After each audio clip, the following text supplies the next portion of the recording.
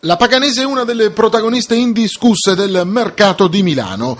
Tra poche ore potrebbe essere il turno degli ingaggi di Fofana, attaccante Agnelli, centrocampista, ma anche di altri due calciatori, un terzino sinistro e forse un portiere che potrebbe non essere Ragni, visto che il Pescara pare intenzionato a tenerlo almeno per ora. Stamattina invece ha firmato ufficialmente con la paganese Evan Soligo, il centrocampista che dovrebbe cambiare pelle al reparto centrale della squadra di mister Grassadonia, consentendole di regalarle qualità in mediana, ma soprattutto esperienza.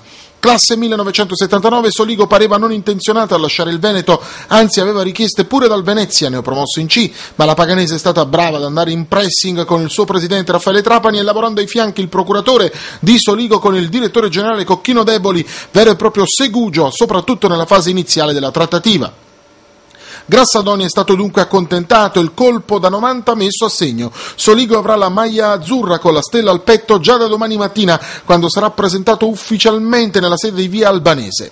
Ma ci sarà soltanto Soligo domani mattina a Pagani? A quanto pare no. Gori, giovane del Bari, potrebbe essere una delle altre sorprese, insieme a Cristian Agnelli, l'anno scorso alla SPAL, centrocampista d'esperienza che andrebbe a comporre proprio con Soligo una coppia importante in seconda linea.